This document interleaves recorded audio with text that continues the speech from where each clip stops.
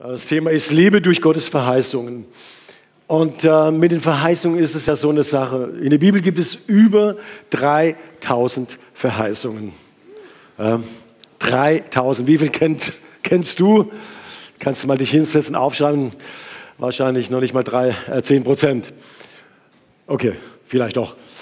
Aber 3000 Verheißungen, die gesagt wurden. Aber das eine ist, Verheißungen zu kennen und zu wissen von den Verheißungen. Und das andere ist, mit Verheißungen zu leben. Ich denke, ihr kennt alle die Geschichte von Abraham, der eine großartige Verheißung hatte, der im hohen Alter, in einem Alter, wo äh, es unmöglich war, Kinder auf die Welt zu bringen, er die Verheißung bekommen hat, lieber Abraham, du wirst ein Kind bekommen. Also die, natürlich Sarah, aber du bist natürlich dabei. Und äh, dann muss man ja erstmal den Glauben haben. Äh, er sagt ja so mit 99, er war dann 99, also an die 100. Und sie war, ähm, er schreibt über seine Frau, dass sie eigentlich schon einen erstorbenen Leib hat. Also wie soll das funktionieren? Und dann noch nach Hause zu gehen und zur Frau sagen, äh, liebe Frau, eigentlich hatten wir abgeschlossen mit gewissen Sachen, aber wir müssen sie nochmal aufnehmen. Ähm, Licht aus oder an oder an, keine Ahnung äh, macht's wie ihr wollt. Oder wie Ich war ja nicht dabei im Zelt, Mondschein. Wir haben eine Verheißung. Und die, die, Frau, was wird sie gedacht haben? Also Abraham, alles in Ordnung? Äh, ja, oder hast du einfach nur Lust? Nee, nee, nee, Gott hat gesprochen, wir sollen noch mal ein Kind äh, auf die Welt bringen und das hat eine Riesenbedeutung für alle Nationen. So, nach vielen, vielen, vielen, vielen Jahren hat Abraham und Sarah miteinander gesprochen und haben gesagt, ähm, haben wir uns jetzt eigentlich getäuscht? Ich, ich erzähle es mit meinen Worten, ja, ihr könnt es ja nachlesen. Ähm, haben wir uns jetzt eigentlich getäuscht? Ähm, jetzt sind, ich glaube, es waren 17 Jahre, Herr, ähm, und, und, und Gott sprach wie so ein Kind und nichts funktioniert, ist ja auch logisch, schau dich an, schau mich an.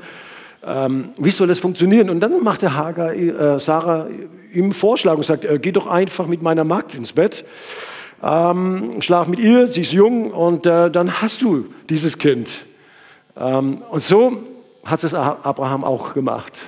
Ja, und dann gab es natürlich, Gott hat äh, gesagt, er wird auch dieses Kind äh, annehmen, aber es gab ein großes Elend und Auswirkungen, was wir heute auch noch zum Teil sehen festzuhalten, wenn Dinge völlig konträr laufen und überhaupt nicht auf diese Verheißung hindeuten.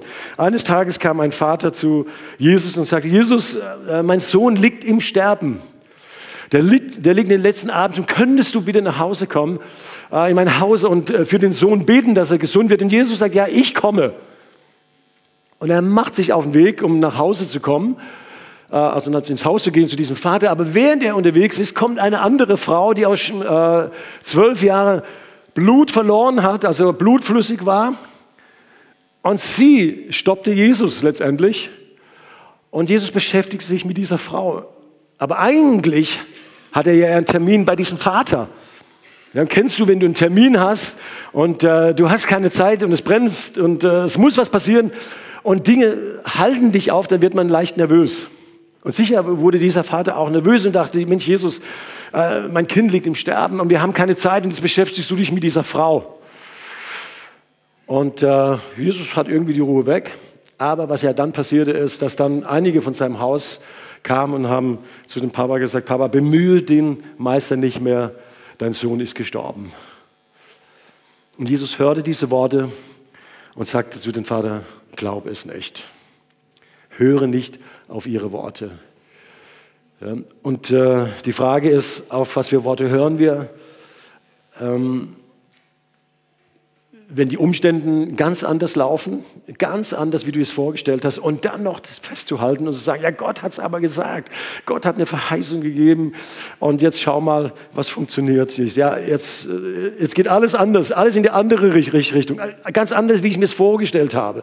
Und ich sage, es steigen so viele Menschen aus, aus äh, Verheißungen, auf Berufungen heraus, weil Dinge anders laufen, wie sie es sich vorgestellt haben. Ich weiß nicht, ob du das kennst. Aber Jesus spricht Folgendes. Ähm, ich werde nur über eine Verheißung heute Morgen sprechen, aber die hat Power Und ähm, wenn das in unser Herz hineingeht, dann können wir richtig was bewegen. Ich lese zunächst mal Hebräer 10, 23. Da heißt es, deshalb wollen wir weiter in der Hoffnung festhalten, die wir bekennen, denn Gott steht treu zu seinen Zusagen oder Verheißungen. Hallo, glaubst du das? Glaubst du das wirklich? Dass er treu zu seinen Verheißungen und Zusagen steht, auch dann, wenn die Dinge anders aussehen. Auch dann, wenn du an der Ampel stehst und du hast einen Termin und dir fährt einer hinten rein und jetzt ist der Platz der Termin. Und du wirst nervös. Ja, du, oder du hast Schwierigkeiten zu Hause und äh, du erwartest eigentlich jetzt, Jesus, heute kommst du nach Hause und er macht eine Kurve und geht erstmal woanders hin. Glaubst du daran? Er hat es gesagt, er ist treu, er steht zu seinen Verheißungen. In Matthäus 17, äh, Vers 20 steht ein krasses Wort über das ich mich schon sehr viel Gedanken gemacht habe und irgendwann, wie nämlich heute Morgen mal mit euch darüber sprechen werde, da heißt es, ich versichere euch. Sag mal, versichere. Das ist keine Versicherung, sondern es ist eine Zusage. Ich versichere dir. Ja, sagt es mal heute Morgen der März, Jesus, du versicherst mir, wenn euer Glauben auch nur so groß wäre wie ein Senfkorn. Gibt es da ein Bild? Von, ah, kein Bild von Senfkorn, okay. Aber Senfkornsamen äh, ist richtig klein. Ja. Könntet ihr zu diesem Berg sagen, rück dich von hier nach da. Und, es würde, und er würde sich bewegen. Nichts wäre euch unmöglich. Ich sag mal unmöglich. Unmöglich. Nichts wäre unmöglich. Wenn ihr, sagt Jesus, einen Senfkorn-Glauben hättet, ihr könntet Bergen versetzen. Also hier geht es jetzt nicht um Berge, ähm, wo du sagst, wo du wie, vielleicht wie so ein Bergsteiger, der trainieren kann, der äh, irgendwelche Seile nimmt, der sich da festbinden kann, sondern es geht um Bergen, die du selber nicht bewegen kannst. Du kannst nichts tun, gar nichts. Kein Mensch kann etwas tun, du kannst nicht etwas tun. Es ist ein Riesenberg. Kennst du solche Berge? Höher als Mount Everest. Niemand hat sie erklommen. Niemand konnte sie besteigen und kann sie heute besteigen, außer Senfkorn. Oder du hast einen Traum, einen Riesentraum. Gott hat dir vielleicht sogar einen Traum gegeben. Ein Riesentraum, eine Riesenverheißung, Vision. Und du stehst davor und sagst, Unmöglich. Ich kann das selbst nicht bewegen. Ich kann da nichts tun. Das ist zu groß. Wie soll das funktionieren? Und jeder Mensch hat Umstände im Leben, die er nicht verändern kann aus eigener Kraft. So, du brauchst etwas, was dir hilft, diese Berge oder diese Träume in Existenz zu bringen oder die Berge zu bewegen. Und Jesus sagt, äh, muss ich einfach mal reinziehen, ja, wenn, wenn ihr Glauben hättet wie so ein Senfkorn. Ja, Jesus, ich glaube doch. Was willst du denn? Ich, ich bete ja im Glauben. Ja. Die Frage ist, wie lange glaubst du? Hier heißt es nicht, du musst einen großen Glauben haben. Das steht hier nicht. Hier steht auch nicht, du musst irgendetwas Großes verbringen, sondern hier heißt es, Du müsstest einen kleinen Glauben haben an einen großen Gott. Dann würden sich die Berge von dahin nach dorthin bewegen.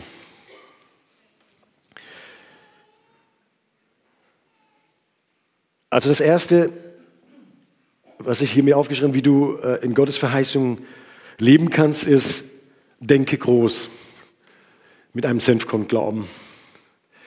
Nichts wäre euch unmöglich, heißt es hier in Matthäus 17, Vers 20.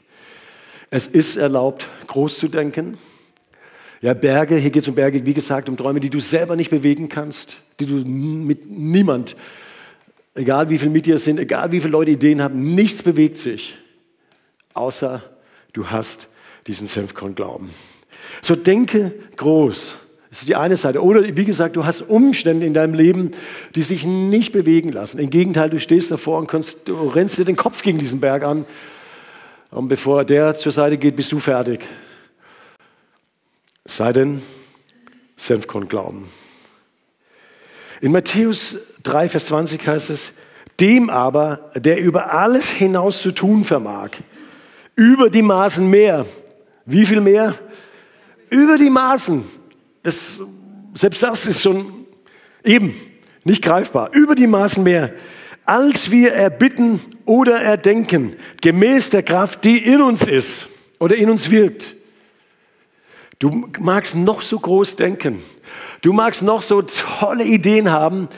Paulus sagt, die Power, die Kraft in dir, in uns, die ist so kraftvoll, dass sie all dein Denken sprengt und viel größer ist als das, was du meinst, als was du erdenkst, als was du dir erhoffst. Über die Maßen, als wir bitten oder erdenken können. Hast du schon mal um was gebittet? Aber voraussichtlich bitten wir jeden Tag Gott um irgendetwas. Paulus sagt hier, es ist über die Maßen mehr, als was du bittest. Ja, super.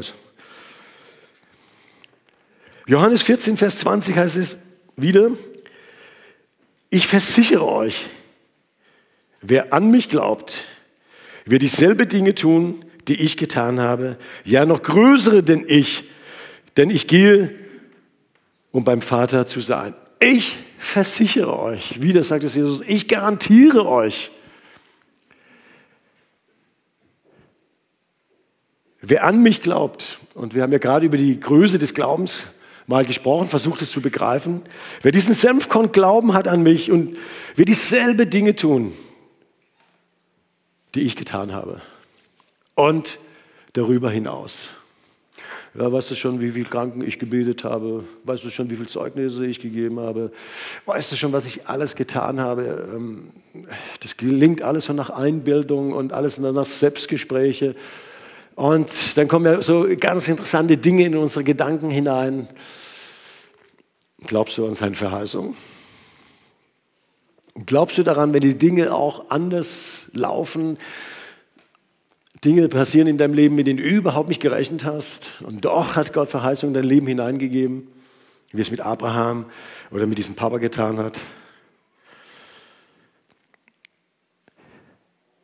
Ich versichere euch, wer an mich glaubt, wird dieselbe Dinge tun, die ich getan habe. Ja, größere, denn ich gehe, um beim Vater zu sein. 2. Korinther 3, Vers 5 heißt es, wir haben uns selbst nicht, wir halten uns selbst nicht dazu fähig, irgendetwas zu bewirken, was bleibende Wert hätte. Unsere Kraft dazu kommt von Gott. Paulus sagt hier, und Paulus hat so viel krasse Dinge mit Gott erlebt. Ja, ich meine, wenn, wenn du mal so eine Power hast, wenn der Heilige Geist so mit dir ist, dass, dass wenn du durch die Straßen läufst ja, und ein Kranker neben dir steht oder liegt oder sitzt, der auf einmal gesund wird, ohne dass du mit ihm gebetet hast, das ist schon gewaltig, oder? Weil du da bist. So war es bei Paulus.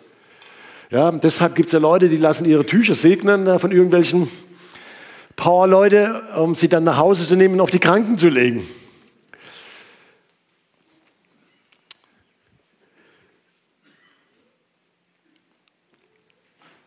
Wir halten uns nicht für fähig. Und es ist exakt, es ist die Wahrheit. Du und ich, wir können nicht aus eigener Kraft diese Dinge tun, die Jesus getan hat. Funktioniert überhaupt nicht.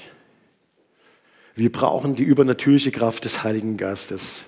Interessant, was er hier sagt, ähm, dass wir irgendetwas zu bewirken, was bleibenden Wert hätte.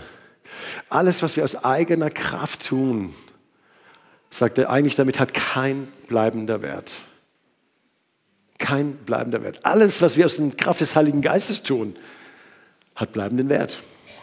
Hallo. Willst du haben, dass Dinge bleibenden Wert haben? Dann brauchst du die Power des Heiligen Geistes. Dann brauchst du diese Kraft, die über die Maßen, über dein Denken hinaus wirkt. Bald haben wir ja Pfingsten, aber wir können schon vorher für die Power des Heiligen Geistes beten, jeden Tag. Also denke groß. bringen deine Berge. Frag mal den Heiligen Geist, habe hab ich diesen Senfkorn-Glauben oder probier es einfach immer weiter, bis dein Glaube wenigstens zum Senfkorn-Glauben wird an einen großen, mächtigen Gott. Es ist interessant, dass diese Geschichte groß startet mit Bergen, aber dass sie klein weitergeht. Wenn euer Glauben auch nur so groß wäre wie ein Senfkorn, dann könne die Riesenberge bewegen. Dann könne die Riesenträume in Realität, in die Existenz hineinrufen oder hineinbringen.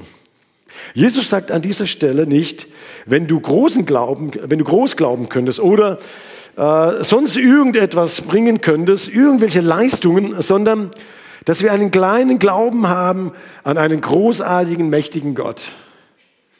Dieser kleine Glaube darf natürlich wachsen. Und er soll auch wachsen. Aber er startet mit Senfkorngröße. Wir können ja dem was machen, wenn irgendjemand Senfkorn äh, zu Hause hat, kannst du einen Informationstisch legen und dann können die Leute mal sehen, wie klein oder wie groß ein Senfkorn überhaupt ist. Ich möchte vier Dinge noch erwähnen, die den Senfkorn-Glauben aufhalten oder die den Senfkorn-Glauben freisetzen können. Das erste ist, höre sorgfältig zu, was Gott sagt.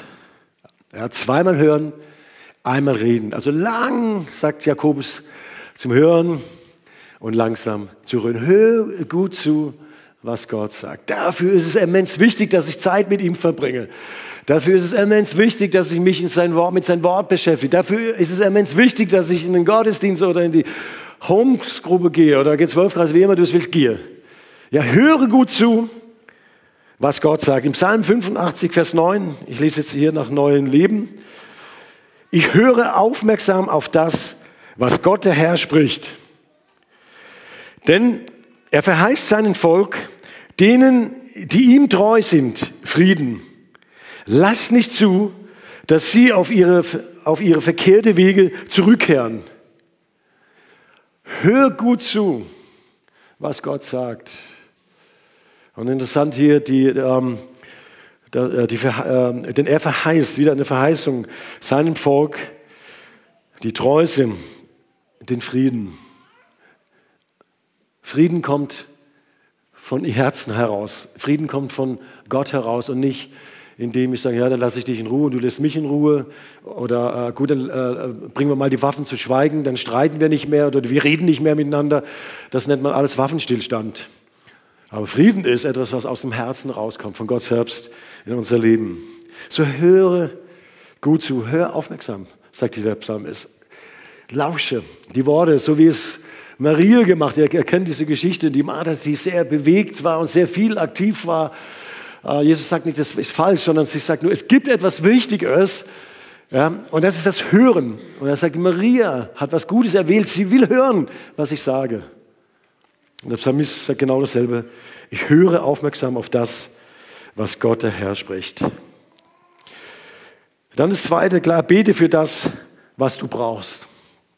Wir dürfen dafür beten, was wir brauchen. Ich kenne deine Berge heute Morgen nicht. Ich weiß nicht, wie groß dein Berg ist. Ich habe selber meine Berge und du kennst sie auch nicht, aber er kennt sie. Ja.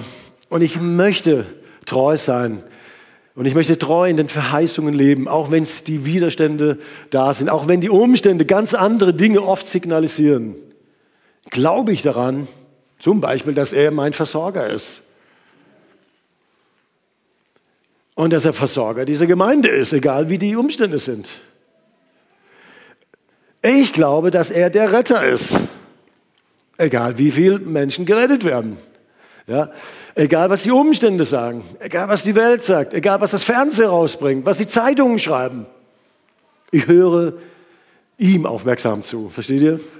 Wir müssen hören, was er sagt. So bring deine Sorgen, deine Berge heute Morgen zu Gott. Hier heißt es in Philippa 4, Vers 6, sorgt euch nicht. Super, hä? Ja, toll, wie kann ich mich denn nicht sorgen? Hast du schon mal meine Sorgen gehabt? Ich gehe abends ins Bett Und ich stehe morgen auf, das sagen mir oft die Leute, und ich habe diese Gedanken, ich versuche sie auf Gott zu werfen, ich kann das gar nicht. Ich sage, werfen und sie sind da. Also muss es einen Austausch geben. Ja, wenn du willst, dass ein Hund sein Knochen loslässt, musst du ihm sozusagen einen Steg hinlegen. Dann tauscht er. Und genau das sagt Paulus hier. Er sagt hier, sorgt euch nicht, sondern bete um alles, sag Gott, was ihr braucht und dankt ihm. Hallo. Hast du denn schon mal Gedanken, Umständen, die noch gar nicht so sind, wie du dir es vorgestellt hast und äh, wie du das gewünscht hast? Und sagst, Herr, danke. Ich habe dir jetzt meine Sorgen gebracht, ich habe es gebetet. Paulus sagt in einem anderen Vers, auch in Philipper 4, in dem Moment, wo du dich anfängst mit Jesus zu beschäftigen, wer er ist, was er ausmacht in dein Leben, verblassen deine Sorgen. Ja, wenn wir uns ständig mit unseren Sorgen beschäftigen, dann werden wir mürbe, dann werden wir depressiv, ich weiß nicht, ob du das kennst, dann werden wir traurig, dann fehlt uns die Lebensfreude. Aber Paulus sagt, ich lege dir etwas anderes vor. Fange an, dich mit Jesus zu beschäftigen.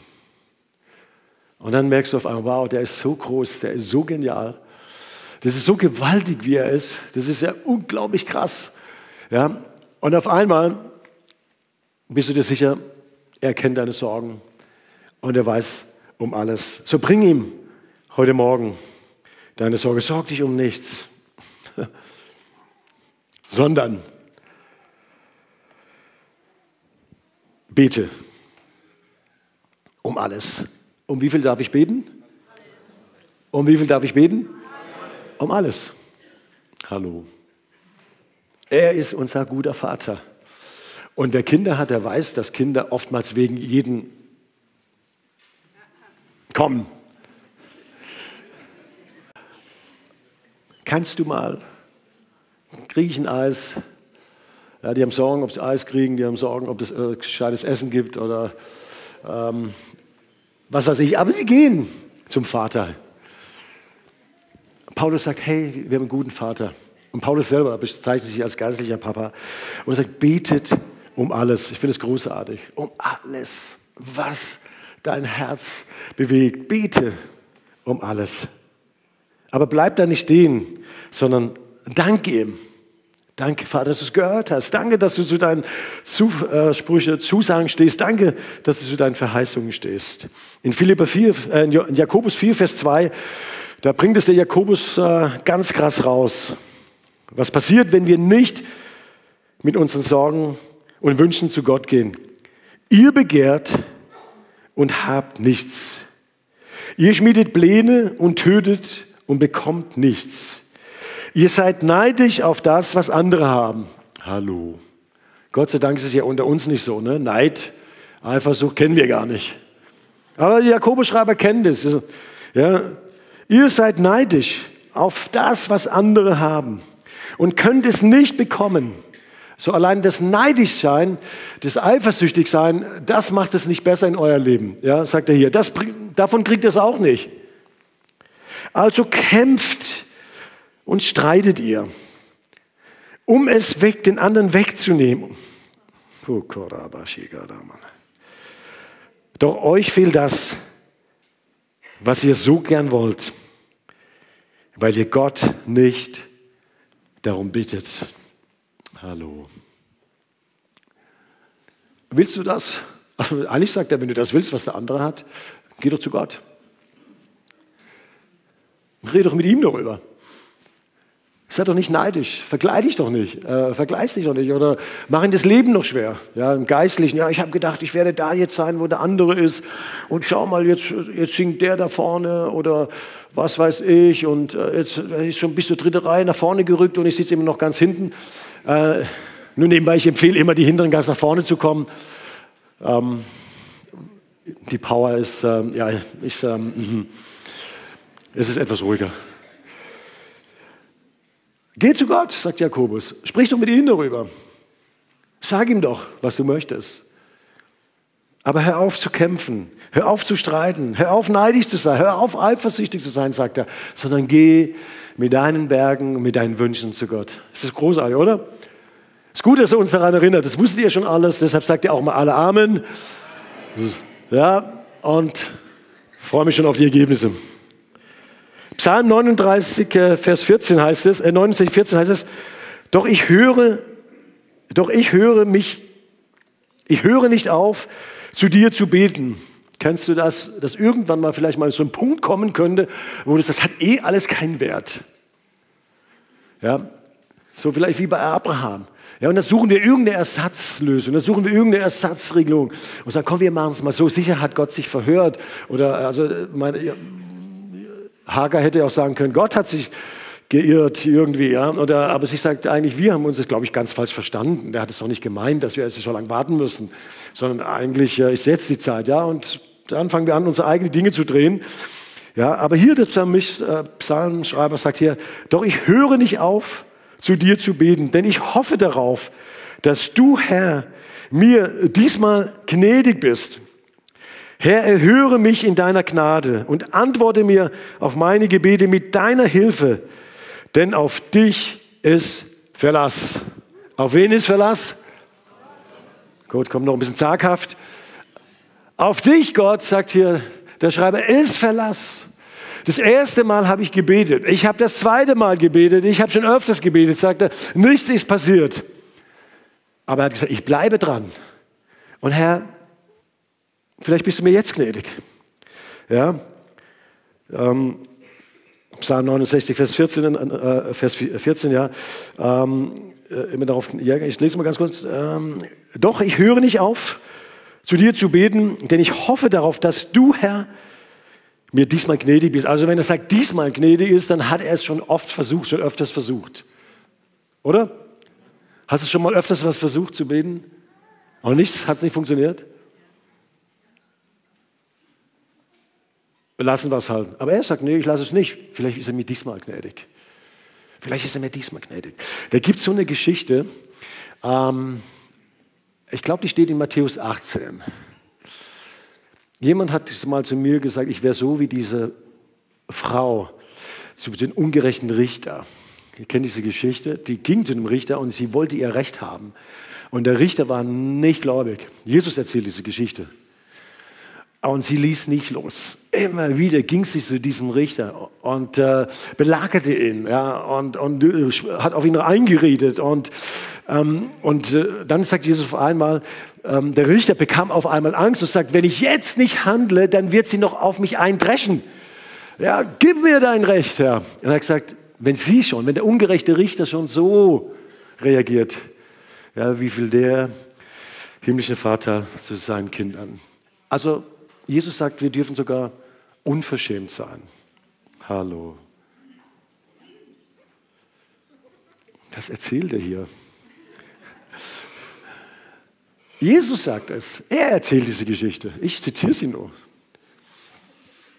Kennst du Kinder, die dir so und die schon mal in die Ohren gelegen dass, dass du gesagt hast, dann, dann nimm's halt.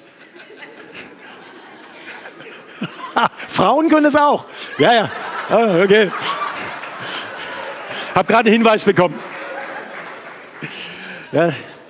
Aber ja, sie reden und sie reden also und, und hören nicht auf und dann sagst du, ja, dann nimm's halt, mach's halt. Stimmt's? Ah, die Männer nicken alle. Viel. Okay, richtiges Thema erwischt. Aber Jesus sagt, sie tun, machen nichts Falsches eigentlich. Es nervt uns nur vielleicht mal. Aber genau das sagt Jesus, dass dieser Richter auch genervt war. Und dann ihr das gegeben hat, nach was es so gebeten hat. Und Jesus sagt, hey, wenn der das macht, der himmlische Vater, wird sich, wird sich um seine Kinder kümmern. Also, das erste ist, ähm, höre gut zu. Das zweite ist, bitte um was du brauchst. Das dritte ist, vergib manchen Menschen. Vergib jeden. Das ist genauso herausfordernd wie der Satz, werfe deine Sorge auf den Herrn, oder? Jeden zu vergeben. Ich übe mich da drin gebe das offen zu, ich bin da noch nicht ganz durch. Aber ich habe auch gelernt, dass jeder, das fand ich sehr, okay, dass jeder auch für seine Handlungen die Konsequenz auch selber tragen muss. Das heißt, ich vergebe und sagte mit Gott, du kümmerst dich um diese Sache. Ich lasse dich los, ich lasse diese Person los, ich lasse diesen Mann los, ich lasse diese Frau, aber du kümmerst dich darum, was passiert. Und ich bin darin frei. Epheser 4, 32 heißt es, seid stattdessen freundlich. Hallo. Freundlich. Wisst ihr, wie schön es ist, wenn man freundlichen Menschen begegnet? Wow die dich anlächeln. Ja, kann man das immer? Nun, Paulus erzählt es gerade und sagt, sei freundlich. Und mitfühlend zueinander. Ganz wichtig, ja, wir sind eine Familie. Wir freuen uns mit den Menschen, denen es gut geht, aber wir fühlen auch mit den Menschen mit, die in Not und Schwierigkeiten stehen. Mitfühlend zueinander und vergebt euch gegenseitig, wie auch Gott euch durch Christus vergeben hat. Liebe Geschwister, kurz zur Vergebung etwas. Das hat Paulus nach dem Kreuz gesagt. Das Kreuz ist ein absolutes Geschenk. Das ist eine Gnade, die du nicht erklären kannst. Ja, du gehst hin, wir haben heute Morgen das einmal, und du bringst in dein Leben und er vergibt dir all deine Sünden. Aber was jetzt Paulus der Gemeinde schreibt, es gibt Situationen wohl in Gemeinden, dass man sich gegenseitig ankekst oder verletzt oder äh, ungerecht ist, oder?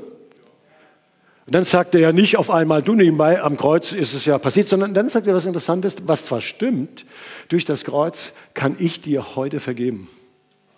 Paulus sagt, so wie Christus euch, äh, so wie euch oder so wie Gott euch durch Christus vergeben hat, so uns ist am Kreuz alles vergeben worden, oder? Ja, beim Abendmahl, wenn wir äh, privat, also in unseren äh, G12-Kreis mit Abendmahl, ich sagte so oft, für all deine Sünde. Aber dann sagt er, hey, wenn es euch passiert, dass euch irgendwie verletzt, dass ihr Dinge tut, die nicht recht waren, vergib euch gegenseitig. So wie euch schon vergeben wurde durch Jesus am Kreuz. Hallo. Schreib mal die Vers auf. Ist doch großartig, oder? So, wenn du heute Morgen hier bist und du sagst, äh, ich kenne hier jemand, der, ist, der hat mich so angekekst, ähm, hier heißt es, vergibt euch gegenseitig. Ja, bevor du zum Abendmahl gehst, kannst, wir können ruhig laufen untereinander. Ja, und sagen, hey, ich vergib, ich lass dich los und kannst du mich bitte auch loslassen und vergeben. Vergibt euch, so seid freundlich. Und wisst ihr, wann man freundlich sein kann, wenn man sich vergeben hat?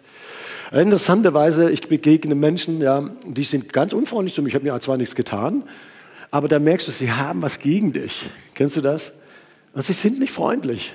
Versuchen dir aus dem Weg zu gehen. Hallo. Aber in dem Moment, wo wir uns gegenseitig vergeben, kommt Freundlichkeit auf jeden Fall in dein Herz rein und Mitleid und mitfühlend. So vergebt euch gegenseitig, wie Gott euch durch Christus vergeben hat. In 1. Korinther 13, Vers 5, da heißt es dann, äh, Entschuldigung, nicht 13, sondern, äh, Moment, das habe ich mich hier gerade verschoben, die Technik ist mir jetzt gerade gerutscht. Hier habe ich 1. Korinther 13, 5. Die Liebe ist nicht selbstsüchtig. Sie lässt sich nicht reizen. Wenn man ihr Böses tut, trägt sie es nicht nach. Hallo. Wie viele nachtragende Christen gibt es auf dieser Erde? Gott sei Dank nicht unter uns so, aber ihr kennt sicher ein paar.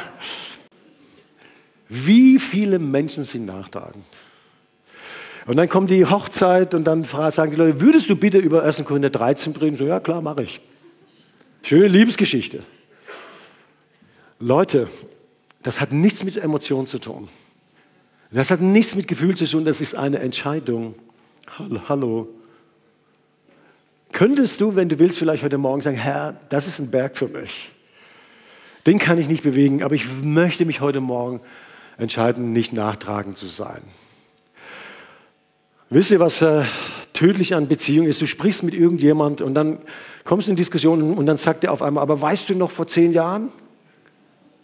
Tötet alle Beziehungen. Sagst du, ja, ist okay nachtragend. Dramatisch grausam.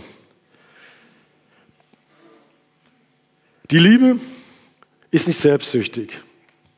wenn ich ja nachtragend bin, dann will ich ja mein Recht haben. Ja, dann fühle ich mich immer ein Recht. Sie lässt sich nicht reizen. Hallo. Wie viele Situationen kommen wir rein? Also ich kenne das ja, und dann spüre ich im Innersten, wenn der Reiz losgeht. Uh. Dann wird es heftiger. Dann denkst du, oh, noch kein falsches Wort oder der Reiz kommt raus. Lass dich nicht reizen. Irgendwie sei gechillt in Jesus.